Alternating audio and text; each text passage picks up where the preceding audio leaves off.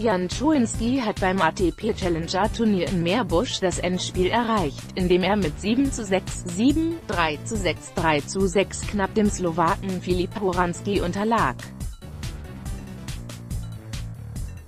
Czujnski hatte im Halbfinale der mit 43.000 Euro dotierten Veranstaltung gegen Dustin Brown gewonnen, 6 zu 4, 6 zu 3, Gegner Horanski auf dem Weg ins Endspiel nacheinander die beiden Youngsters Nikola Kuhn, 6 zu 4, 1 zu 6, 6 zu 1 und Rudi Mollika, 7 zu 6, 4, 6 zu 2 ausgeschaltet.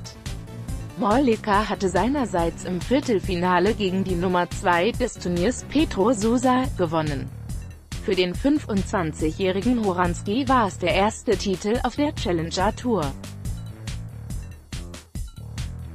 Turniersiege für Jan und Helle Auch auf dem ITF Pro Circuit waren einige Spieler aus Deutschland erfolgreich. Jeremy Jan siegte in Bydgoszcz, Polen, 25.000 US-Dollar im Finale gegen den Brasilianer Petro Sakamoto mit 6 zu 3, 6 zu 4 und holte seinen zweiten Future-Titel des Jahres.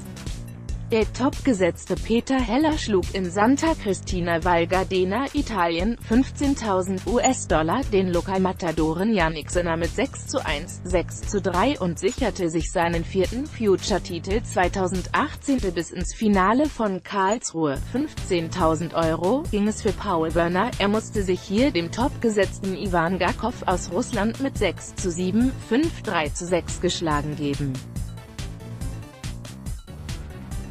Im Doppel siegte Kai Wenelt an der Seite von Hugo Woljak mit 7 zu 5, 7 zu 5 über Thomas Martin Etcheverry, Alejo Villaro.